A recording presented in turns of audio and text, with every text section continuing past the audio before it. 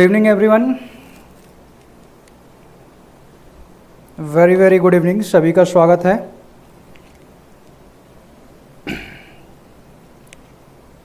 चलिए, जितने लोग भी आते जाएँ, एक बार कमेंट के माध्यम से बताते जाएँ कि I am audible to you मेरी आवाज़ आप तक पहुँच रही है। वेरी वेरी गुड इवनिंग सभी का स्वागत है। भैया देखिए, मेरा नाम आशीष पाठक है। मैं और आप आप लोगों को JCA के लिए कंप्यूटर पढ़ाऊँगा, जैसे मैंने यूट्यूब पे कंप्यूटर के सिलेबस के बारे में डिस्कस किया था। और वैसे ही हम क्लासेस स्टार्ट करेंगे। भाई, जितने लोग भी क्लास में एक बार कुछ तो जवाब दो, कमेंट करिए, प्लीज़। एक बार आप लोग कमेंट करें। फिर क्लास को स्टार्ट करेंगे। कोई प्रॉब्लम कोई दिक्कत कमेंट में कोई इशू आ रहा हो तो बताइए। मिहिर जी लैपटॉप पे क्लास देख सकते हैं। Within two days four days का वेट करिए। मैंने बोल दिया है, ठीक है टेक्निकल टीम को कि रीडायरेक्ट कर दिया जाए। अभी जो पुराना ऐप था, वो चल रहा था। लेकिन जस्ट अभी कुछ दिन में आपका विद इन मंडे तक आप वेट कर लीजिए। मंडे से आप लैपटॉप पे जहाँ बन करें, वहाँ देख सकते हो। चलिए, सब कुछ क्लियर है? गुड इवनिंग गुड इवनिंग सभी का स्वागत है। वेरी गुड इवनिंग भाई, सभी को। अविनाश जी, खुश रहिए, मस्त रहिए, स्वस्थ रहिए, ज़बरदस्त रहिए। शुभांशी जी, सब कुछ सही है?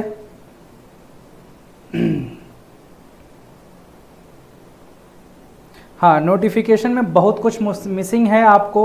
आलोक सर ने एक बोला वीडियो डाला है कि कैसे करें तैयारी। वहाँ पे आपको मैक्सिमम चीज़ें, कुछ बटो, बच्चों के आरटीआई के थ्रू जो मिली थी, वो मैंने वहाँ पे बता दिया गया है। कुछ और चीज़ें हमने आरटीआई के थ्रू पूछा है, जैसे हमें जवाब मिलेगा, हम आप लोगों के सामने वीडियो के माध्यम से ज़रूर बताएँगे।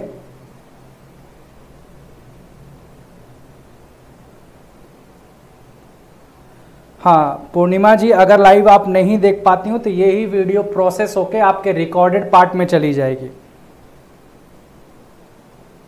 सर आज कंप्यूटर की क्लास है या हिस्ट्री का है? चंदन जी, ऐसा है जो क्लास लगाने वाला है, उन्होंने थोड़ी गड़बड़ कर दिया। मृत्युंजय जी, खुश रहिए, मस्त रहिए, स्वस्थ रहिए।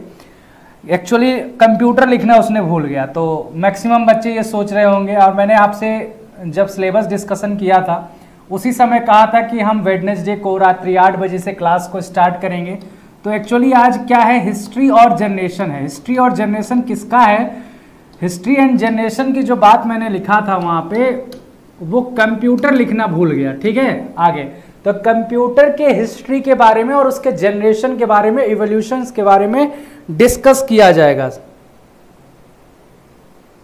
अभी मैंने कुछ भी ऐसा ज़रूरी नहीं बताया, बस हाय हेलो आप लोगों का हालचाल ले रहा था। ठीक है, देख रहा था कितने लोग लाइव पढ़ने आ रहे हैं। ये संख्या बल और बढ़नी चाहिए एडमिशन इतने हो गए हैं।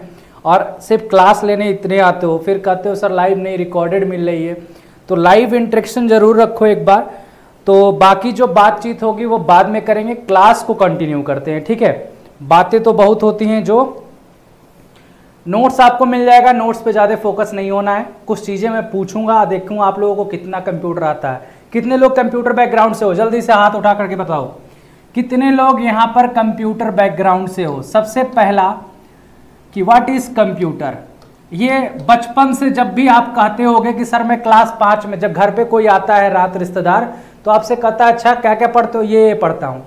जाने का कंप्यूटर भी पढ़ते हो तो कहेगा अच्छा कंप्यूटर व्हाट इज़ कंप्यूटर ठीक है तो ऐसा कुछ मैं नहीं पढ़ाने वाला हूँ और ऐसा कुछ आपके एग्ज़ाम में नहीं आने वाला है। ठीक है जनरल अपने नॉलेज के लिए जान लो कि कंप्यूटर क्या है। एक इलेक्ट्रॉनिक्स डिवाइस है।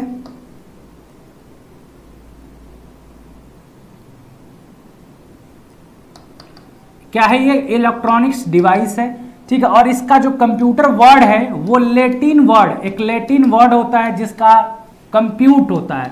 इस कंप्यूट लेटिन वर्ड से इसको बनाया गया और इसका मतलब होता है कैलकुलेशन क्या होता है? कैलकुलेशन होता है। ठीक है तो आप समझ गए कि एक्चुअली कंप्यूटर जो है, वो मैक्सिकली कैलकुलेशन के लिए ही बनाया गया। कंप्यूट एक लेटिन वर्ड है, जिसका मतलब कैलकुलेशन होता है। मुझे कंप्यूटर का सी भी नहीं आता। एकता जी बोल रही हैं, हम हैं। अच्छा बीसीए ग्रेजुएट हैं। मिहिर जी, क्या आप हमसे और किसी भी कोर्स से जुड़े हैं मिहिर जी? क्योंकि B C A B tech वाले बच्चे हमसे काफ़ी कोर्स में, अभी मैं कंप्यूटर ऑपरेटर पढ़ा रहा हूँ। वहाँ पे मैंने प्रोग्रामिंग और बाकी सब चीज़ें डाटा स्ट्रक्चर ख़त्म किया। काफ़ी बच्चे वहाँ टेक्निकल वाले जुड़े हुए हैं। इलेक्ट्रॉनिक्स डिवाइस है, जिसका काम क्या होता है? ठीक है, ये क्या करता है? डेटा को इंस्ट्रक्शन में कन्वर्ट करता है। एक तरह से बोला जाए, एक electronics device which convert data into information instruction नहीं डेटा को इंफॉर्मेशन में कन्वर्ट करता है। अब कुछ चीज़ें यहाँ पर ध्यान रखो कि मुझे ये बताओ डेटा क्या होता है और इंफॉर्मेशन क्या होता है। ये चीज़ें क्लियर होना बहुत ज़रूरी है। इंस्ट्रक्शन क्या होता है? तो बेसिक सी चीज़ें हैं भाई, देखो इंस्ट्रक्शन क्या होता है? कोई भी कमांड जो है जो भी कमांड आपने दिया, ठीक है, उसी को इंस्ट्रक्शन बोला जाता है। इंफॉर्मेशन क्या होता है? Organised collection of data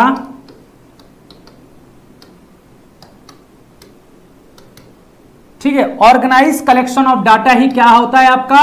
information होता है, जो एक मीनिंगफुल ठीक है, कुछ मीनिंगफुल आपसे उसका अर्थ निकले, जो आपका डेटा है, उसको ऑर्गेनाइज करके एक मीनिंगफुल अर्थ निकले, उसी को आपको क्या कहा जाता है?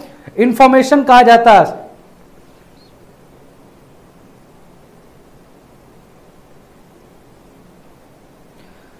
Sir I can do B C it's good और not what is benefit Tanu ji, देखिए बी सी ए करना, ना करना, वो डिपेंड करता है, वो आपका फ़ील्ड ऑफ़ इंटरेस्ट कहाँ है? क्या आप, देखो सपोज़ करो, यहाँ पे अभी क्या है कि नॉर्थ इंडिया में, मैं साउथ इंडिया की बात करूँ, कि जो बी सी ए ग्रेजुएट हैं, ठीक है, वो कहीं ना कहीं उनका ये मकसद नहीं है कि मुझे गवर्नमेंट जॉब में जाना है। बी सी ए ग्रेजुएट हुए, चाहे B tech C S and I T हुए नॉर्थ इंडिया के जो स्टूडेंट है, क्योंकि नॉर्थ इंडिया में कहीं भी आपका सॉफ्टवेयर हब नहीं है धीरे धीरे डेवलपमेंट हो रहा है, जैसे नोएडा हो गया। ठीक है, वो आपका क्या है, एक सॉफ्टवेयर हब बनने वाला है। ठीक है? तो वहाँ जितना जॉब रिक्रूटमेंट है, उतना तो हो जाता है। मैक्सिमम आपका जो सॉफ्टवेयर हब इलेक्ट्रॉनिक्स हब बोला जाता है, वो बेंगलुरु है। तो उस साइड के बच्चे चले जाओ कर्नाटक हो गया, वहाँ के जो बच्चे हैं आपके, हैदराबाद के तो वहाँ पे आपका क्या है? मैक्सिमम उनका जो एक तरह से बोला जाए, वो कहाँ है? सॉफ्टवेयर इंडस्ट्री की तरह। अच्छा अट्रैक्टिव पैकेज मिलता है। हाँ बीसीए वाले चाहे बीटेक वाले, दोनों में थोड़ा सा अंतर होता है। ठीक है बीटेक का जहाँ स्टार्टिंग पैकेज 3.2 से स्टार्ट होता है, वहीं पे बीसीए वालों का 2.8 से स्टार्ट होता है। ठीक है? बेसिकली ये डिपेंड करता है कि आपका फ़ील्ड ऑफ़ इंटरेस्ट किधर जाना है। यहाँ गवर्नमेंट जॉब में कुछ स्पेसिफाइड जो आपके जॉब आते हैं, वो कहीं ना कहीं टेक्निकली स्पेसिफाइड जॉब आता है। जैसे बीसीए वाले कहाँ एलिजिबल होंगे? अभी जब टीचर कंप्यूटर की वैकेंसी आएगी, मुझे तुम लोग लीक से हटा रहे हो। ठीक है? कंप्यूटर की वैकेंसी आएगी, वहाँ पे कहीं ना कहीं आपको एप्लीकेबल माना जाएगा। कंप्यूटर ऑपरेटर है, आ रही है। उसमें बीसीए कहीं ना कहीं एलिजिबल होता है। एएसआई जो वैकेंसी आई थी एसआई आई थी, उसमें होता है तो वो डिपेंड करता है कि आपका फ़ील्ड ऑफ़ इंटरेस्ट उधर है या नहीं है। अब जैसे कुछ जगह आपको बेनिफिट ये मिल जाता है कि अभी गवर्नमेंट के थ्रू कई जो आपके पीसीएस ओ ले आपका आर ओ आर ओ कराती वहाँ पर बीसीए हुआ बीटेक हुआ, इनको एप्लीकेबल मांगा गया है ओ लेवल के। तो वहाँ आर ओ और यारो के जो पोस्ट होते हैं एडमिनिस्ट्रेटिव पोस्ट वहाँ के लिए आप एप्लीकेबल होंगे, ठीक है? तो मुझे लीक से ना हटाओ, ये सब बातें बाद में करेंगे। ये रिकॉर्डेड नहीं है, ये लाइव क्लास है, ठीक है, बाद में देख सकते हो आप। मगर मुझसे ऐसे सवाल ना पूछो कि मैं भटक जाऊँ। बाद में आप सब इकट्ठा कर लेना, जो भी ऐसे सवाल हैं, उसके लिए मैं स्पेशल डिस्कशन रखूँगा, फिर वहाँ पे बात करेंगे। अभी हमें मेन फोकस करना है अपने चैप्टर पे, ठीक है? तो ऑर्गेनाइज कलेक्शन ऑफ़ डेटा क्या करता है? जो एक मीनिंगफुल कहीं ना कहीं वह आपको कुछ दे, उसी को इंफॉर्मेशन बोलते हैं। और डाटा क्या होता है? जब ये ऑर्गेनाइज होता है तो ये अनऑर्गेनाइज होता है। ये क्या होता है अनऑर्गेनाइज कलेक्शन ऑफ़ इसको क्या बोल सकते हो? लेटर नंबर कुछ भी ऐसा, ठीक है? जिसका कोई भी ऑर्गेनाइज ना हो, एकदम अव्यवस्थित तरीके से हो, ठीक है? वो लेटर नंबर वो डेटा होता है डेटा कुछ भी हो सकता है, जैसे एक हो गया। मैंने ए लिखा, ये भी एक डेटा है। ए बी लिखा, ये भी डेटा मैंने सिस्टम को दिया 19 उसके बाद से दिया M A R C H 90 ठीक है? फिर 92 ऐसे दिया। अलग अलग तो ये अलग अलग क्या है? एक डेटा है ना। अब ये एक सिस्टम में जाएगा प्रोसेस होगा तो ये एक इंफॉर्मेशन बन जाएगा। तब जब ये आपके सामने स्क्रीन पर दिखता है 19 मार्च 1992 तो आप समझ जाते हो ये एक कहीं ना कहीं किसी की डीओबी लिखी हुई है।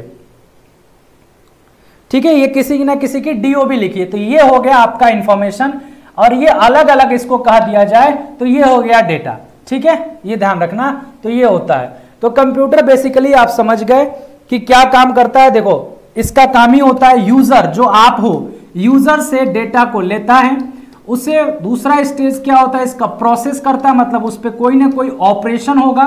प्रोसेसिंग क्या होती है? उस पर कुछ ना कुछ ऑपरेशन होता है, जो भी होगा अरेंजमेंट करेगा उस डेटा को, और उसके बाद से उसको आउटपुट शो करेगा। मतलब जो लास्ट का आउटपुट होगा, वही आपका इंफॉर्मेशन होगा। इंफॉर्मेशन से ही तो आप समझ पाते हो कि कहना क्या चाहता है। ठीक है? जो आउटपुट आएगा, वही इंफॉर्मेशन आएगा। ठीक है? तो यूज़र से डेटा लिया जाता है, उस पर ऑपरेशन होता है, और फिर इंफॉर्मेशन बेसिकली फिर यूज़र को दे दिया जाता है। हाँ नोट्स बनाते चलो या ना बनाते चलो, कल मैं अपलोड करा दूँगा नोट्स ठीक है? वो डिपेंड करता है आप पे। अब थोड़ी सी कंप्यूटर की बात हो गई। अब यहाँ पर हम लोग कंप्यूटर के करेक्टरिस्टिक्स के बारे में जान लेते हैं। ठीक है? करेक्टरिस्टिक्स क्या है कंप्यूटर की? क्या क्या इसकी विशेषताएँ हैं? उसके बारे में चलो एक बार डिस्कस कर लेते हैं। सबसे पहली विशेषता आप सभी जानते होंगे स्पीड ठीक है? भाई साहब स्पीड में ये सबका बाप है। ठीक है? स्पीड और एक्यूरेसी एक तरह से बात किया जाए। जितना आपने, अगर मैं कहूँ, अगर आपसे सेवन इंटू टू करो, आप लोग बहुत तेजो फोर्टीन कर दोगे। ठीक है? आपसे और करूँ, अट्ठारह इंटू फोर कर दो, तभी भी आप कर ले जाओगे। लेकिन मैं वहीं आपसे seven two two two into four two two two two two कर दूँ तो आप बोल जाओगे यहीं पे। आप यहीं पे धावा बोल जाओगे। ठीक है? या तो आपको क्या होना चाहिए? शकुंतला देवी हो जाना चाहिए। अभी यहाँ पर आपसे जैसे होगा, ठीक है? यहाँ पे इसको जैसे ही कंप्यूटर को ये कमांड दोगे तो कंप्यूटर तुरंत within a second within a second ये आपको क्या देगा? इसका तुरंत आंसर दे देगा और एक्यूरेसी के साथ दे देगा। तो इसी को स्पीड कहा जाता है। ठीक है? इसकी स्पीड हो गई। ठीक है? एक्यूरेसी मैंने बता दिया कि जब भी आप यूज़र जब तक कोई गलती नहीं करेगा स्पीड एक्यूरेसी ये सब क्या है? ठीक है, ये सब क्या है? इसके इस विशेषताएँ हैं। जब तक यूज़र गलती नहीं करेगा, उसके एक्यूरेसी में कोई इंपैक्ट नहीं पड़ेगा। ठीक है? ये ध्यान रखिएगा। हम्म हम्म चलो। अब आते हैं हम लोग डेलीजेंस ठीक है? डेलीजेंस मतलब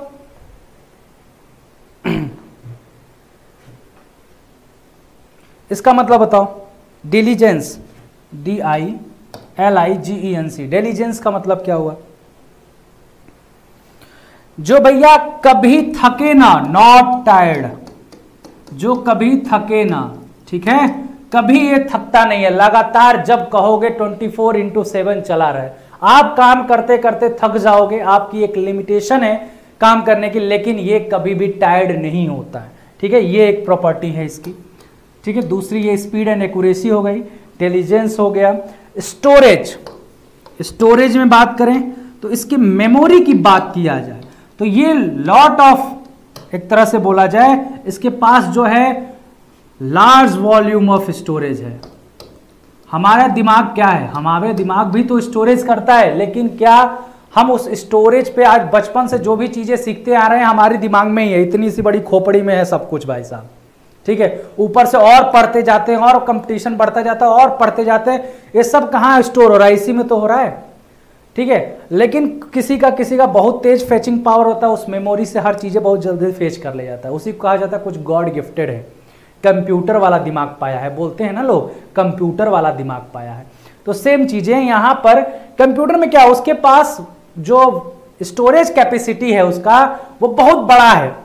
और जो भी आपका डेटा है, और जितना विद इन सेकेंड जो सर्च मारोगे, जो डेटा आप रिट्राइव करना चाहते हो within a second data को आप मिल जाता है आपसे, ठीक है? जो डेटा आपको चाहिए, जो भी आपका अलग अलग उसमें रखे हो, आपने सर्च किया, मेरी ये फ़ाइल कहाँ है, तुरंत सर्च करके दिखा देता है, ये आपकी फ़ाइल है, ठीक है? तो ये सब चीज़ें क्या है? मेमोरी की है, और इसमें जितना चाहे उतने चीज़ें आप भर सकते हो मेमोरी में जान ही सकते हो कि कितने टीबी में जीबी जेबी में, सब में इसकी यूनिट आती चली गई हैं। अब धीरे धीरे इन सब पे बात करेंगे एक एक चीज़ स्टोरेज कैपेसिटी हो गई और वर्सेटाइल है। क्या है ये वर्सेटाइल? कहा जाता है ना कि ये, किसको बोले थे? नवज नवाजुद्दीन सिद्दीकी जो हैं आपके, वो क्या हैं? वर्सेटाइल एक्टर हैं। इरफान खान थे जो चले गए, वो भी वर्सेटाइल एक्टर थे। क्यों वर्सेटाइल कहा जाता है? कि वो हर प्रकार के एक्टिंग कर ले जाते थे, जैसा कहोगे वैसा एक्टिंग परफॉर्म करते थे तो ये भी वर्सेटाइल है। जिस प्रकार का इनको टास्क दोगे, वैसे ये भी काम करेगा। डिफरेंट ठीक है बिहेवियर हर टास्क के साथ अलग अलग प्रकार से बिहेव करता है। ठीक है? एक एक साथ कई टास्क कर सकता है डिफरेंट डिफरेंट टास्क परफॉर्म करता है तो इसीलिए इसको वर्सेटाइल किया गया है। क्या करता है डिफरेंट टास्क परफॉर्म करता है। तो ये सब चीज़ें कुछ ना कुछ इसकी विशेषताएँ हैं। आगे हम थोड़ा सा और बढ़ेंगे, विशेषताएँ आप लोग जान लिए। अब इसके हिस्ट्री पर बढ़ते हैं। ठीक है? हिस्ट्री पर। तो सबसे पहले इसकी जो शुरुआत हुई कंप्यूटर की, कि कैसे आएगा दिमाग में कि कंप्यूटर का आविष्कार करना है? भाई देखो, कंप्यूटर का मैंने बताया, कंप्यूट सबसे बना है, और कंप्यूट का मतलब होता है कैलकुलेशन। और कैलकुलेशन, ठीक है, कौन जानेगा मैले किसको ज़रूरत पड़ेगी? जितने भी आपके मैथमेटिशियन होंगे, उनको सबसे ज़्यादा हाँ। देखो हिस्ट्री यही कहती है कि जो मैथमेटिशियन थे, उनको ज़्यादा कैलकुलेशन की ज़रूरत थी। कहीं ना कहीं वो रिसर्च वर्क करते थे। तो उनका दिमाग भाई गया कि कुछ हमारा काम हल्का हो जाए। तो सबसे पहले जो एक तरह से बोला जाए कि कैलकुलेट करने का कोई एक तरह से यंत्र आया तो उसको क्या कहा गया? एबेकस ठीक है? कहा जाता है, वैसे कोई प्रमाण नहीं मिलता इसका कि इसका आविष्कार चाइना के द्वारा किया गया ठीक है? चाइनीज़ जो थे, हर जगह चाइनीज़ नंबर एक पे हैं। आज भी देखो मोबाइल फ़ोन में भी तो चाइना आपका नंबर एक पे है। हम्म। तो स्टोरेज कैपेसिटी में ही आपका आपका पूरा पूरा रिमेम्बरेंस पावर भी आ जाएगा। ठीक?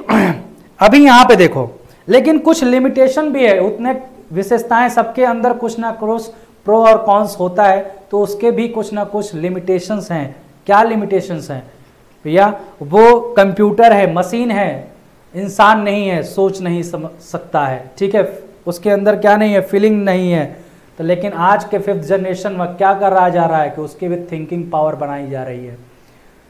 जो आप रोबोट्स देख रहे हैं, वो क्या कर रहे हैं, उनकी भी एक थिंकिंग पावर की प्रोग्रामिंग की जा रही है। वो खुद का डिसीज़न नहीं ले सकता, ये लिमिटेशन है। लेकिन अभी फिफ्थ जनरेशन में क्या है कि कुछ ऐसे जितने भी मैक्सिमम पॉसिबिलिटीज इंसान थिंक करता है, उतनी थिंकिंग की क्या हो रही है? प्रोग्रामिंग की जा रही है एआई में आर्टिफिशियल्स में, ताकि जितना एक इंसान, एक आम इंसान सोचता है, वो सब कुछ एक मशीन सोच सके। तो इसी को आर्टिफिशियल और मशीन लैंग्वेज कहा गया है, जो आज की दुनिया में काम चल रहा है। ठीक है? अब मशीन को इंसान बनाने पे लोग तुले हुए हैं। ठीक है? ये एबेकस था जिसे कहा गया कि भैया चाइना में खोजा गया। इसका फिगर मैं दिखा दे रहा हूँ, कुछ इस प्रकार से था, देख लो। इसमें 10 ये होते थे और इसमें थोड़े थोड़े बिट्स होते थे। इन्हीं से कैलकुलेशन एडिशन सब्ट्रैक्शन मल्टीप्लिकेशन किया जाता था इनका इस्तेमाल करके। तो इसके बारे में बस बहुत ज़्यादा नहीं जानना है आपको। उसके बाद से जो दूसरा आया, वो आए जॉन नेपियर ठीक है? जॉन नेपियर इन्होंने क्या किया था? एक नेपियर बोन्स बनाया था, ठीक है? कुछ ये फिगर दिख रहा है कि नहीं आपको? नेपियर बोन्स बनाया था। फिगर कुछ ऐसा था। डिटेल देखो फिगर देख लो। ये बोन्स हड्डियों से बना था। दांत ठीक है? इसमें आपकी नंबरिंग की गई थी। इसी से आपका कैलकुलेशन किया जाता था। अब इसमें इनका जो मेन मकसद था नेपियर्स जो जॉन नेपियर्स थे, इनका एक और है मेन की इन्होंने लॉगेरिथम का इन्वेंशन किया था। ठीक है? अगर आपसे पूछे कि लॉगरिथम के इन्वेंटर कौन है तो आपके जॉन नेपियर हैं। नेपियर बोन्स जो आपका इंस्ट्रूमेंट था कैलकुलेशन के लिए यूज़ किया जाता था, इसके थ्रू हम मल्टीप्लाई ठीक है?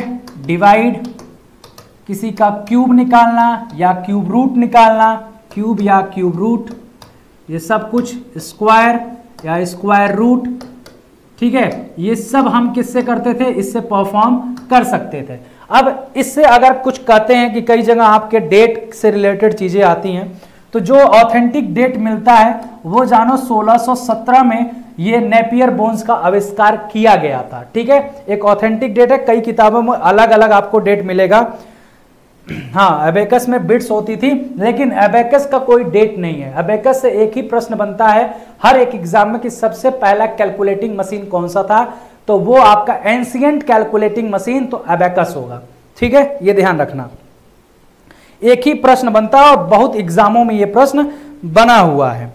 समझ गए? डेसिमल पॉइंट का सबसे पहले यूज़ यहीं पर हुआ था। डेसिमल पॉइंट का अगर बोला जाए यूज़ जो है, इसी नेपियर बोन्स में हुआ था। तो नेपियर्स बोन्स के बारे में बस इतना ही जान लो, बहुत है। ठीक है? ये जो थे, कहाँ के थे? स्कॉटिश थे। ये मैथमेटिशियन थे। स्कॉटिश मैथमेटिशियन थे। ठीक है? स्कॉटलैंड के थे तो इनको स्कॉटिश मैथमेटिशियन बोला गया था जॉन नेपियर को, और इन्होंने ही नेपियर बोन्स का आविष्कार किया था। हम्म। मैथमेटिशियन ही करेंगे और कौन करेगा? उसके बाद से भाई साहब आते हैं ब्लेस पास्कल। पास्कल साहब ने पास्कलिन मशीन आविष्कार किया। एक्चुअली हुआ क्या कि इनके जो पिताश्री थे, जो इनके फादर थे, ठीक है, वो टैक्स डिपार्टमेंट में काम करते थे तो उनका वर्कलोड ज़्यादा था कैलकुलेशन करने का। तो उन्होंने पिताश्री का जो कैलकुलेटिंग वर्क था, उसको कम करने के लिए पास्कलिन मशीन बनाया। ठीक है? पास्कलिन मशीन बनाया। ये कहाँ के थे भाई? ये आपके अगर पूछता है, कहीं कहीं पूछता देता है। ये फ्रेंच मैथमेटिशियन थे। ये फ्रेंच मैथमेटिशियन थे, ठीक है? ध्यान रखना। पास्कल साहब, फ्रेंच के मैथमेटिशियन थे। इन्होंने कैलकुलेशन, बेसिक कैलकुलेशन के लिए मशीन बनाई थी, जिसका नाम था पास्कलिन। यहाँ पर आपको सिलेंडर्स, गियर्स होते हैं, ठीक है? उस पे बेसिस पर ये था, ये फिगर देख लो, ठीक है? ये आपके गियर्स पे काम करते थे। और इनका जो बेसिक काम था, ये चार काम करता था, जो बेसिक काम होना है एडिशन सब्ट्रैक्शन मल्टीप्लिकेशन और डिवीज़न यही बेसिकली जो काम होता है, इसी के लिए ये इन्होंने डिज़ाइन किया था। इसके अलावा और कोई काम नहीं होता था। ये ध्यान रखना। इसीलिए इसे व्हील्स लगे थे गियर्स लगे थे, उसी पर ये काम करता था। इसे और क्या नाम दिया गया था? इसे अर्थमेटिक मशीन दिया गया था। इसका एक नाम और है अर्थमेटिक मशीन ठीक है? अर्थमेटिक मशीन दिया गया था। ठीक है? और इसको एक नाम से और बोला जाता है पास्कल कैलकुलेटर। Pascal calculator. ये सब पास्कलिन का नाम है। Arithmetic machine, Pascal calculator. पिताजी के हेल्प के लिए भाई साहब, पास्कल साहब ने इस पास्कलिन मशीन का आविष्कार किया। बस इतना चार ऑपरेशन बेसिकली ये करता था एडिशन सब्ट्रैक्शन मल्टीप्लिकेशन और डिवीज़न उसके बाद से नेक्स्ट आपका जो बना, वो बना लेबनीज विल ठीक है? लेबनीज विल स्टेपर्ड रेकॉनर और लेबनीज ने बनाया था। ये एक तरह का कैलकुलेटर था। देखो इसका कुछ ऐसा इसमें लगा हुआ है मशीन में। ये लेबनीज विल है। ठीक है? इसका मेन काम क्या था? ये पहला डिजिटल मैकेनिकल कैलकुलेटर था। क्या था ये? डिजिटल मैकेनिकल कैलकुलेटर था। इन सब चीज़ों को नोट करते रहना, चाहे मैं नोट्स में सब दे दिया हूँ। डिजिटल मैकेनिकल इसका एडिशन कैसे होगा? एडिशन वेडिशन ये नहीं पूछता है कि मशीन में एडिशन कैसे होगा। ठीक है? ये सब नई चीज़ें पूछेगी। जो चीज़ें ज़रूरी है, वही चीज़ें मैं बताऊँगा कि एडिशन कैसे होता था। तो वो तो सब बहुत डीप में चले जाओगे। हर एक इंस्ट्रूमेंट का मैं खोल खोल अगर बताऊँ कि कहाँ आपका डेटा फिड होता था, कैसे काम करता था तो फिर दिक्कत हो जाएगी। ये बेसिकली मल्टीप्लाई और डिवाइड के लिए यूज़ होता था। बस इतना ही पूछता है। मल्टीप्लाई एंड डिवाइड के लिए बेसिकली यूज़ किया जाता था ये मशीन ठीक है? और इसे कहीं कहीं आपका जो ईयर मिलता है 1973 और 1672 मिलता है। यहाँ से क्वेश्चन बना है तो आप लोग किसे आप लोग सही मानोगे तो 72 को सही मानना। ठीक है? यहाँ पे अगर लेबनीस का पूछे कि कब ये आया था तो 1672 में। अगर 72 ना हो तो 73 को मानना। ठीक जर्मन फिलोसफर मैथमेटिशियन सब कुछ। पहले के लोग फिलोसफर मैथमेटिशियन सब थे। ये ध्यान रखना। तो एक एक चीज़ का अगर एडिशन बताने लगे तो वो आपको एक्स्ट्रा पढ़ना है तो वो मैं बताऊँगा। मैंने एडिशन ये सब बताया है, जब कंप्यूटर ऑपरेटर वाले में पढ़ाया डिटेल में। ठीक है? यहाँ पे उतना नहीं है, पच्चीस क्वेश्चन में आपका मुश्किल से एक क्वेश्चन यहाँ से आना है। तो कोर्स ओरिएंटेड पढ़ाई करनी है। ठीक है? अभी उसके बाद से नेक्स्ट जो आपका लूम मशीन ठीक है? लूम मशीन आता है जिसको डेवलपमेंट जो है, इसको कौन किया था? इसके जो आपके इन्वेंटर हैं, वो कौन है? ये पूछता है आपसे कि जो लूम मशीन है, उसके इन्वेंटर कौन है? तो इन्वेंटर आपको पता है लूम मशीन के कौन है? जेकॉर्ड जेकॉर्ड लूम उन्होंने ही ये मशीन क्या है? कपड़े बुनने वाली मशीन देखे हो कि नहीं? उसी का आविष्कार इन्होंने किया था और पहली दफ़ा यहाँ पर एक इनपुट डिवाइस का यूज़ किया गया था। वो उस इनपुट डिवाइस को बोला गया था पंच कार्ड ठीक है? पंच कार्ड का यूज़ हुआ था। पंच कार्ड में एक्चुअली क्या होता था? इनपुट जो भी दिया जाता था तो जहाँ पे आपका ज़ीरो परसेंट जो होता था सर, सी लैंग्वेज और पास्कल भी आ सकता है क्या एग्ज़ाम में? सी लैंग्वेज नहीं आएगा। सी लैंग्वेज मुश्किल है, बहुत ही मुश्किल है। जनरल कंप्यूटर अवेयरनेस आएगा, सी लैंग्वेज नहीं आएगा। मैंने जितना सिलेबस डिस्कस किया है, उतना है पच्चीस क्वेश्चन। अगर एक नंबर ऑफ़ क्वेश्चन होता पचास, ठीक है, अस्सी, तब मैं कहता हाँ basics of programming knowledge, conceptual knowledge आ सकता है। ठीक है? देखो, जहाँ पर इस पंच कार्ड में होल प्रेजेंट थे, इनको कहा गया वन। और जहाँ होल आपके अपसेंट थे, जहाँ पे होल आपके प्रेजेंस थे, उनको कहा गया वन। और जहाँ आपके प्रेजेंस नहीं थे अपसेंस थे होल अपसेंस थे होल, उसको कहा गया ज़ीरो ठीक है? ये ध्यान रखना। तो पंच कार्ड के थ्रू इनपुट दिया जाता था। लोग अपना इनपुट जो है, इसी के थ्रू देते थे। हाँ इंग्लिश लैंग्वेज में ही होगा। जो आपका एग्ज़ाम होगा, सिर्फ़ इंग्लिश लैंग्वेज में ही होगा। तो बस ये ध्यान रखना, पंच कार्ड का यूज़ यहीं से हुआ। सबसे पहले क्वेश्चन आपसे यही फ्रेम होता है कि पंच कार्ड का यूज़ किस मशीन में हुआ था? तो लूम पावर लूम जो मशीन थी जैकॉर्ड लूम के द्वारा बनाई गई। उसी में यूज़ किया गया था। इसके बाद से हम आते हैं नेक्स्ट वाले जनरेशन पे। चार्ल्स बेबेज के द्वारा बनाया गया दो इंजन। एक आपका जो बनाया गया था, जिसे हम जानते हैं डिफरेंस इंजन के नाम से, लेकिन इसकी कुछ कमियाँ थी। इसमें कुछ और चेंजेस वो करना चाहते थे, और जो डिफरेंस इंजन था, इसके बारे में ध्यान रख लो कि जो डिफरेंस इंजन था, ये एक्चुअली 1820 से 22 के बीच में ये तैयार हुआ था, ठीक है? और जो एनालिटिकल इंजन था, वो अठारह में आपका बन के तैयार हुआ। अब दोनों में डिफरेंसेस क्या है वो मैं आपको बताऊँगा। ये इंग्लिश पॉलीमैथ और मैथमेटिशियन और मैकेनिकल इंजीनियर और फिलोसफर साहब थे भाई साहब, ठीक है? कुछ भी कमी नहीं थी बैबे साहब में। अब इन्होंने ही एक तरह से मॉडर्न कंप्यूटर जो एक तरह से बोला जाए, जो कंप्यूटर का है आज के समय में, उसमें जो चीज़ें यूज़ होती हैं, वो इन्होंने अपने किसमें यूज़ किया था? एनालिटिकल इंजन में यूज़ किया था। ठीक है? जो एनालिटिकल इंजन बनाया था इन्होंने, इनमें इन्होंने इंटीग्रेटेड मेमोरी इंटीग्रेटेड मेमोरी का कॉन्सेप्ट लाया था। एएलयू अर्थमेटिक लॉजिक यूनिट जो होता है, उसका कॉन्सेप्ट लाया था। डेटा फ्लो का कॉन्सेप्ट लाया था। इसी वजह से एनालिटिकल इंजन इन्होंने जब बनाया, कहा जाता है कि इनका मन था ये कुछ जगह आपको मिलेगा कहानियों में कि चार्ल्स बेबेज ने डिफरेंस इंजन बनाया, लेकिन ये चाहते थे कि इसको एक प्रोग्रामेबल बनाया जाए। ठीक है? मैथमेटिक कैलकुलेशन के लिए एक मैकेनिकल कंप्यूटर बनाया था। ये एक तरह से मैकेनिकल था।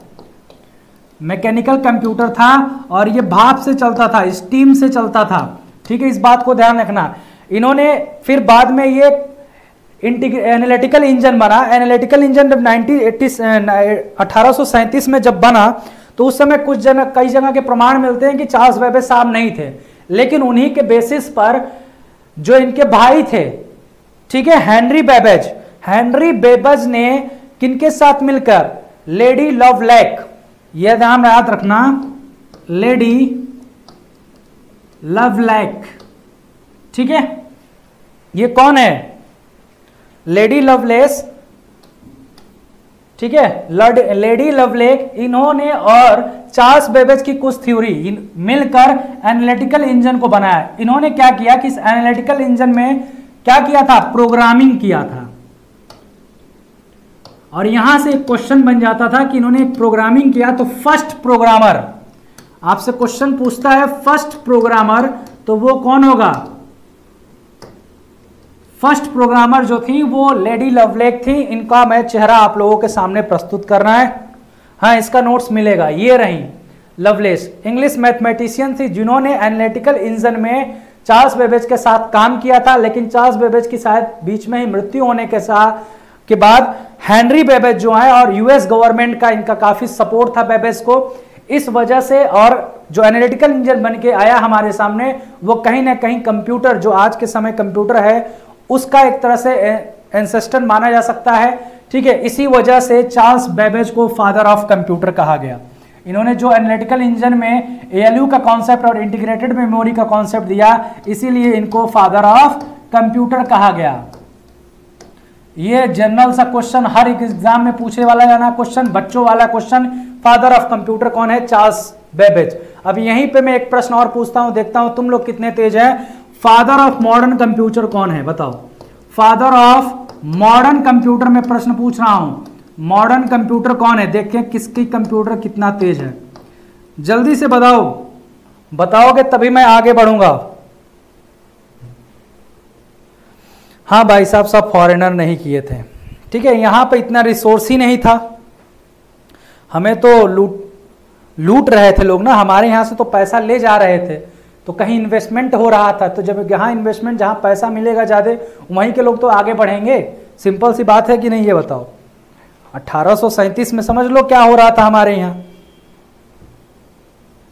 हमारे के लोग भी यहाँ के पढ़ने की ढंग से सुविधा नहीं थी यहाँ पर। यहाँ से बाहर पढ़ने जाते थे तो कहाँ वाले तेज हो जाएँगे? चलो। बेबेज में भी जो पंच कार्ड इनपुट के थ्रू आया था तो वही यूज़ इसमें भी होने लगा था। पंच कार्ड यहाँ पर भी इनपुट की तरह यूज़ होता था। ठीक है? जल्दी से बताओ भाई। Father of modern computer sir Turing Purnima ji बोले ट्रिन करके कुछ है। याद नहीं आ रहा है चार्ल्स पेबेज हैं। फादर ऑफ़ मॉडर्न कंप्यूटर ये फादर ऑफ़ कंप्यूटर प्रश्न दो प्रकार से पूछेगा। अगर फादर ऑफ़ कंप्यूटर पूछ रहा है तो चार्ल्स बेबेज होंगे। ठीक है? अब फादर ऑफ़ मॉडर्न कंप्यूटर पूछ रहा है तो बहुत बढ़िया। अभी याद आया किसी को। एलन ट्यूरिंग एलन ट्यूरिंग ने मॉडर्न कंप्यूटर की जो है थ्योरी दिया था, उसी के बेसिस पे उनकी एक मशीन थी ट्यूरिंग मशीन ठीक है? उसी के बिहाफ पे इनको फादर ऑफ़ मॉडर्न कंप्यूटर कहा जाता है। चार्ल्स बेबेज नहीं है चंदन जी, इस बात को याद रखना। मॉडर्न कंप्यूटर के पिता एलन ट्यूरिंग है।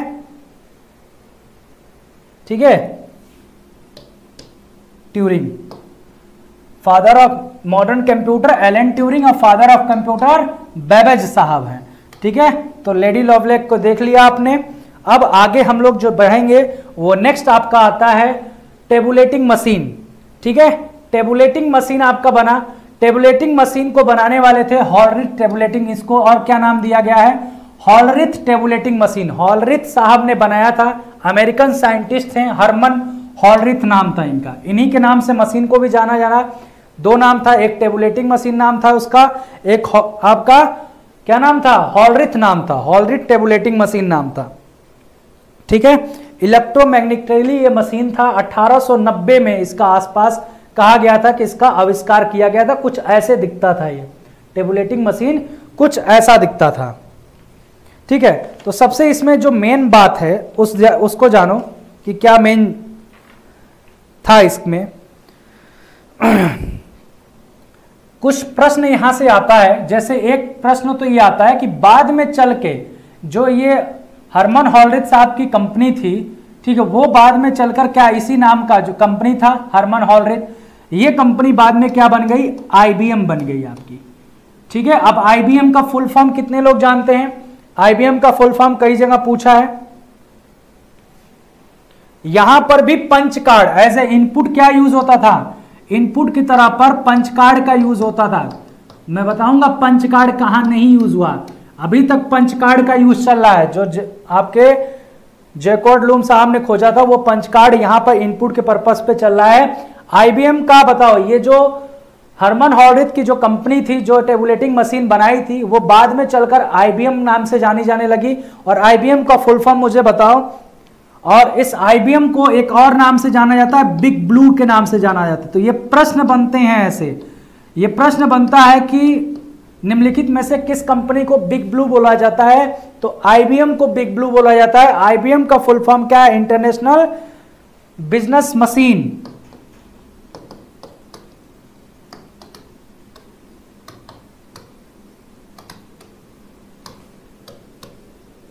International business machine है आईबीएम का फुल फॉर्म तो ये ध्यान रखना है इंटरनेशनल बिज़नेस मशीन आईबीएम को बोला था 1890 में टेबुलेटिंग मशीन हुई और 1890 में जब पहला सेंसस हुआ था अमेरिका का, ठीक है?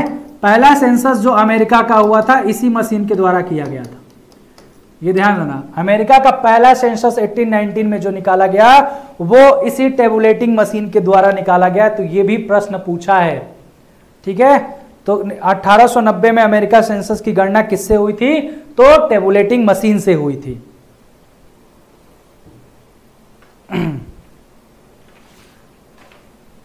चलो, इतना हो गया। अब हम आते हैं कुछ और चीज़ों पर बात कर लेते हैं, डिस्कस कर लेते हैं। आगे चल के मार्क वन कंप्यूटर के बारे में बात कर लेते हैं। कभी कभी पूछता है आपसे कि प्रोग्रामेबल इलेक्ट्रोमैकेनिकल कैलकुलेटर सबसे पहला प्रोग्रामेबल इलेक्ट्रोमैकेनिकल कैलकुलेटर कौन सा था? तो वो मार्क वन कंप्यूटर था। मार्क वन को बनाने वाले थे कौन? हार्वर्ड यूनिवर्सिटी के प्रोफेसर हार्वर्ड आइकन ठीक है, बाद में इन्होंने इन्होंने सोचा 1937 में आइकन साहब ने सोचा कि हमें एक क्या बनाना है? कंप्यूटर बनाना है, जो फुल्ली ऑटोमेटिकली कंप्यूटर का मतलब उस समय कैलकुलेशन ही होता था। तो इन्होंने सोचा था कि मुझे एक कैलकुलेटर जो प्रोग्रामेबल ऑटोमेटिक कैलकुलेटर बनाना है 1937 में। लेकिन ये जो हुआ 1987 में 37 में इन्होंने सोचा, लेकिन 1944 में ये हार्वर्ड आइकन साहब और आईबीएम दोनों कंपनियाँ मिलकर, आइकन साहब और इन दोनों ने मिलकर इसको पूरा दिया। 1944 में ये मार्क वन कंप्यूटर पूरी तरह से बनकर तैयार हुआ था। ये ध्यान रखना। उसके बाद से इसकी सीरीज़ कई आई Mark two Mark three Mark four तो ये firstly fully automatic programmable calculator था। पहला ऑटोमेटिक प्रोग्रामेबल कैलकुलेटर जो अगर पूछे आपसे तो वो मार्क वन था। यहीं पे कुछ अलग अलग से विवादित आपके क्या आ जाते हैं? उसी बात से एलन ट्यूरिंग साहब आते हैं 1936 की बात है। 37 की बात है 1936 में ही एलन ट्यूरिंग मशीन की खोज हुई थी। ट्यूरिंग मशीन की खोज एलन ट्यूरिंग ने किया था, जहाँ पर यहीं पे कॉन्सेप्ट मिला था आपका मॉडर्न कंप्यूटर का। उसके बाद से अगर हम बात करें तो यहीं पर आप बढ़ेंगे हम लोग, जब आपसे पूछा जाता है कई जगह प्रश्न कि first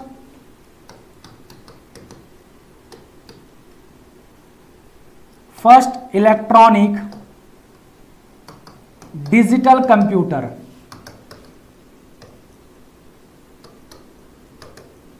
first electronics digital computer for general purpose use general purpose use के लिए पहला कंप्यूटर कौन सा था? यहाँ पे कई विवादित है आप लोग।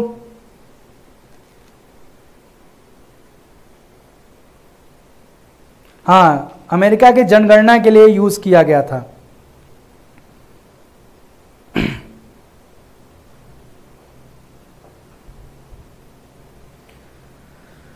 First general purpose digital electronics computer कौन सा है?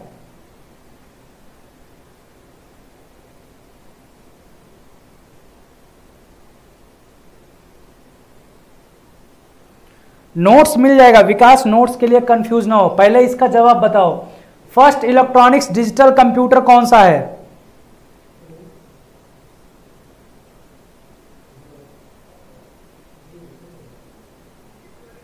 देखो फ़र्स्ट सबसे fast super computer Frontier USA का। सुपर कंप्यूटर नहीं मैं पूछ रहा हूँ। मैं अभी बोल रहा हूँ हाँ सबसे fastest super computer Frontier USA का है। अभी फ़र्स्ट इलेक्ट्रॉनिक्स डिजिटल कंप्यूटर में कुछ विवादित चीज़ें हैं। अलग अलग जगह पे आपको अलग अलग चीज़ें मिलेगी। एबीसी का नाम सुने हो? एबीसी कंप्यूटर एबीसी कंप्यूटर का जो नाम है, हिंदी में लिखे अरे भैया, हिंदी में पेपर नहीं आएगा। कैलेंद्र कुमार जी, हिंदी में पेपर नहीं आएगा, ये गलती मत करना। है एटेना सॉफ बेरी, ठीक है? Atanasoff Berry computer. अब मैं बता दूँ कि यहाँ पर क्या है, किसको कैसे, सर याद नहीं आ रहा है सॉरी चलो, कोई दिक्कत नहीं। एक यूनिवर्सिटी है, ये कई जगह आपको मिलेगा नहीं। I O W A university of engineering इसके कंप्यूटर साइंस डिपार्टमेंट में जब जाओगे इसकी वेबसाइट पे, तब आपको सब कुछ क्लियर क्लियर मिलेगा। मैक्सिमम जगह आपको मिलता है एनियाक ठीक है? एनियाक पहला डिजिटल जनरल पर्पस कंप्यूटर है। लेकिन बेसिकली जो था वो एबीसी कंप्यूटर था। हाँ अभी आपने ऋषभ ने बोला एनियाक है, क्योंकि मैक्सिमम आपको नेट पे भी सर्च मारोगे तो यही सब मिलेगा। ठीक है 1937 में उन्नीस की ही बात है कि ABC Atanasoff Berry computer Atanasoff I O W A के, ये एक यूनिवर्सिटी है। ठीक है, उसके जो है प्रोफेसर थे और बेरी जो था, उनका चेला था। ये जो था ये इंजीनियरिंग कर चुका था इलेक्ट्रिकल से और बाद में ये मैथमेटिशियंस का स्टूडेंट था और ये प्रोफेसर थे। तो गुरु और चेला दोनों लोगों ने मिलकर इस पर काम शुरू किया था। एबीसी उसीलिए उसका कंप्यूटर का नाम दिया गया था एटेना सॉफ बेरी कंप्यूटर ये एक डिजिटल कंप्यूटर था फुली ऑटोमेटिक प्रोग्रामेबल था। लेकिन एक्चुअली हुआ क्या कि पेटेंट जो है, उसी समय काम चल रहा था एनियाक का भी।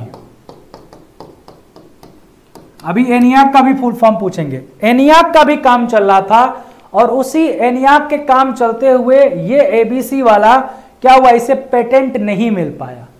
और जब पेटेंट नहीं मिला और उस समय बाजी मार गया एनियाक वाले। ठीक है? ये बात है 1943 के आसपास। 1943 के आसपास इसको एनियाक को पेटेंट राइट मिल गया। अब पेटेंट राइट जब मिल गया तो यही पहला कंप्यूटर बोला जाएगा। First digital programmable general purpose computer आपका एनियाक हो गया। और हर जगह अगर आपसे क्वेश्चन पूछे तो आप किसको कहोगे? जो पेटेंट 1943 में ये बन के तैयार हो गया, लेकिन 37 में ही पेटेंट एंटेसॉफ बेरी कंप्यूटर को नहीं मिला, इसको मिल गया एनियाक को मिल गया। किसी विवाद विवाद कर दिए सब दोनों। आजकल जानते हो, कोई चीज़ इन्वेंट होता है तो एक दूसरे को क्लेम करने लगते हैं। उसी कारण जज साहब ने भाई साहब इनको पेटेंट नहीं दिया, इनको दे दिया। बाद में 19 इसका आगे चल के 1973 में बात है 1943 में इसको मिल गया कि भाई एनियाक पहला digital programmable general purpose computer होगा। लेकिन 1973 की बात है 1973 में कोर्ट में फिर से ये केस ओपन हुआ। और कहा गया कि एनियाक जो आप हो, वो आपने एंटेसॉफ बेरी कंप्यूटर का कॉपी किया है। आपका पेटेंट ऐसे नहीं बोला जा सकता, वो कोर्ट ने उस चीज़ को सुधार किया, मगर आपको आंसर सुधार पे नहीं जाना है। बस वो पेटेंट पे सुधार हुआ कि आपने, आपका जिन्यून नहीं है ये। जो एनियाक कंप्यूटर आपने बनाया है, वो आपका स्पेशल नहीं है जिन्यून नहीं है। आपने एंटेसॉफ बेरी वाले का क्या किया है? कॉपी किया, उसी को आगे किया है। ठीक है तो उसमें 19 1973 में कोर्ट ने फिर से रीओपन करके उस पेटेंट पर काम किया। लेकिन पहला अगर आपसे पूछे तो पेटेंट के तौर पर एनियाक ही पहला first digital programmable general purpose computer आपका होगा।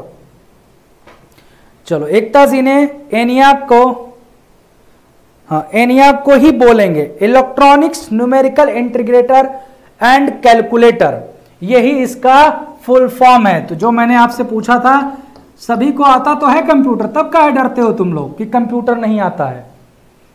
इतने में जानते हो कितने प्रश्न तुमने कर लिया? एक एनियाक का कर लिया, एक चार्ल्स बैबेज वाला कर लिया, एक मॉडर्न फादर ऑफ़ कंप्यूटर कर लिया, एक एंशियंट कैलकुलेटिंग मशीन का कर लिया। ठीक है? तो काफ़ी प्रश्न आपके यहाँ से तैयार हो गए हैं। अच्छा इतना सब जानते हो तो ये भी जहाँ बता दो कि एनियाक को करने वाले कौन थे? एनियाक को खोजने वाले साइंटिस्ट का नाम भी बता दो इसी बात पर। जल्दी से बताओ।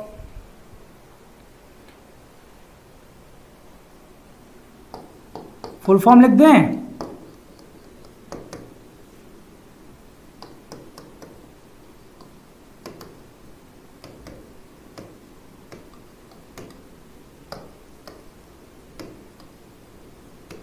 ठीक है? इसका बताओ, कौन थे साइंटिस्ट भाई? देखो तो दो लोग थे 1947 यहाँ लिखा है, जॉन मोस्ले एंड एस्कॉट ठीक है? दो नाम याद रखना, जॉन मोस्ली एंड एस्कॉट ये दो लोगों ने फुल फॉर्म, ये लो। लो, बच्चे ने लिखा तो है, electronics, numerical integrator and calculator. Integrated calculator. Integrator करो या इंटीग्रेटेड कर लो? Integrated calculator.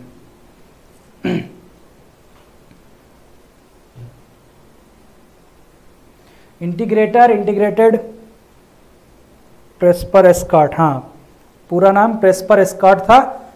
John Mauchly and Presper एस्कॉट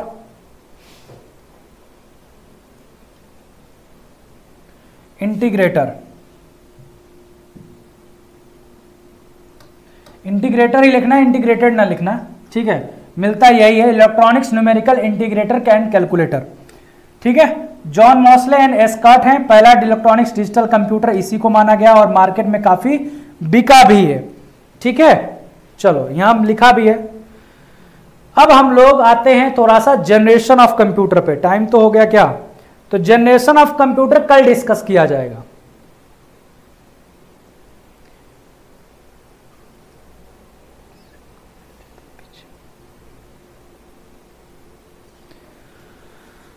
क्या हुआ सर? आपने जो जो भी पढ़ा है वो मैंने पहली बार पढ़ रही हूँ। अच्छा ह्यूमनिटी स्टूडेंट हूँ। कोई बात नहीं, अंशिका जी। देखो, अभी जितना मैंने पढ़ाया, उसमें से मैं प्रश्न बता दे रहा हूँ क्या क्या प्रश्न पूछा गया है। कई कई डिफरेंट एग्जामों में जनरेशन डिस्कशन कल किया जाएगा। पाँच जनरेशन है, कल जनरेशन पे भी डिस्कशन हो जाएगा और आर्किटेक्चर नहीं हो पाएगा। आर्किटेक्चर के बेसिक चीज़ें मैं बता दूँगा। आर्किटेक्चर उसके अगली क्लास में होगा।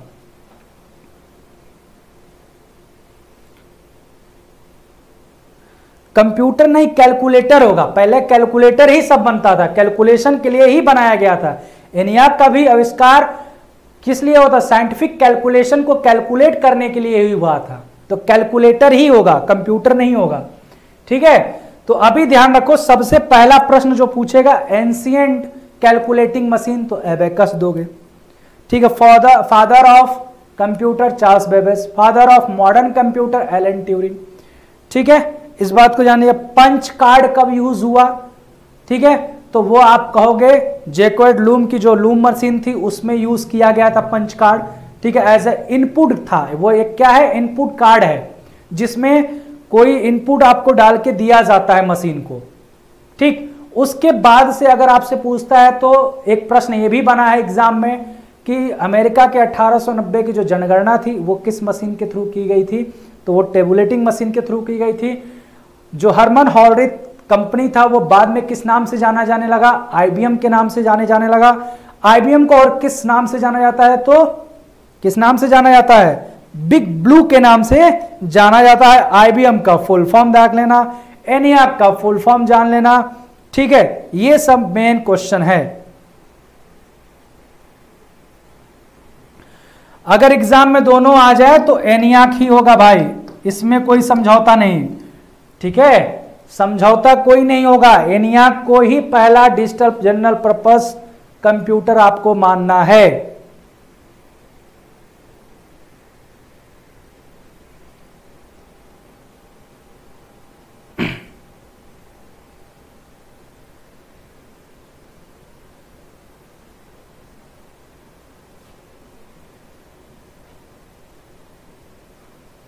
चलो। समझ में आ गया? तो ये जनरल से क्वेश्चन है, इसके नोट्स आपको लगा दिए जाएँगे। आप लोग पढ़ लेना। कल हम लोग डिस्कस करेंगे जनरेशन पे, ठीक है? कल का डिस्कशन होगा जनरेशन ऑफ़ कंप्यूटर और जनरेशन में हम जिन पॉइंट पे बात करेंगे कि उसमें क्या क्या हार्डवेयर यूज़ हुए सॉफ्टवेयर पर्पज से क्या यूज़ हुआ फ़िज़िकल अपियरेंस क्या था उसका, और उसके एप्लीकेशन क्या थे, और एग्ज़ाम्पल पे। खासकर आपसे पहले जनरेशन से जो प्रश्न बनता है जनरेशन से कि पहला जनरेशन किस डिवाइस पर डिपेंड था? ठीक है, यही इसी प्रकार के प्रश्न बनते हैं। और कुछ एग्ज़ाम्पल जो बनाए गए उस समय, पहले जनरेशन में, और जनरेशन की हर जगह आपके खास कर मैं बातें बता दे रहा हूँ कि जो ईयर मिलते हैं ना अलग अलग किताबों में अलग अलग मिलता है। कोई 1940 से 1950 मानता है, कोई 46 से छप्पन मानता है तो अलग अलग है। मैं एकदम ऑथेंटिक आपको बताऊँगा, उसके लिए परेशान मत होना। अभी कोई समस्या, कोई परेशानी, कोई दिक्कत, कोई दुख, कोई दर्द, जो भी हो, मुझे बता दो। फिर चलते हैं हम लोग। चलिए। कोई दुख, कोई दर्द, कोई समस्या, मेरे बच्चों, मेरे प्यारे बच्चों, जल्दी बताओ। अभी तक समझ में आया, जितना पढ़ाया, मैं सिर्फ़ क्वेश्चन ओरिएंटेड पढ़ा रहा हूँ, आपको उसका ऑपरेशन नहीं पढ़ा रहा हूँ। जितने भी डिवाइस पढ़ाया, उसके ऑपरेशन पढ़ाने लगे तो छह महीना ऑपरेशन पढ़ाने में लग जाएगा। चलिए, बहुत बढ़िया। मंजुल जी, आप सभी का भाई बहुत बहुत धन्यवाद।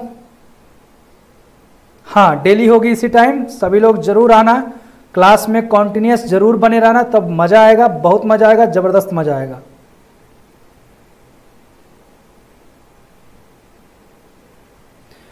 टाइपिंग कुछ समझ में नहीं आ रहा इंग्लिश टाइपिंग में क्या समझना धड़ाधड़ मारते जाओ, इंग्लिश टाइपिंग तो आराम से हो जाएगी। इंग्लिश टाइपिंग मैं बताता रहा हूँ, पंद्रह दिन में तुम स्पीड ला दोगे time table Mrityunjay ji, Sunday को आपको अपलोड कर दिया जाएगा। अभी ये जान लो कि संडे तक मुझे ही आप लोग मिलोगे। मैं ही आठ बजे आपसे मिलूँगा, ठीक है? तो हमारा और आपका मुलाकात रात्रि आठ बजे। चलिए, बहुत अच्छे से समझ में आया। दे देंगे, सब कुछ दे देंगे। ठीक है, अभी क्लास होने वाली है। आप सभी से मैं विदा चाहता हूँ। आप सभी का बहुत बहुत धन्यवाद। इतना प्यार और स्नेह देने के लिए।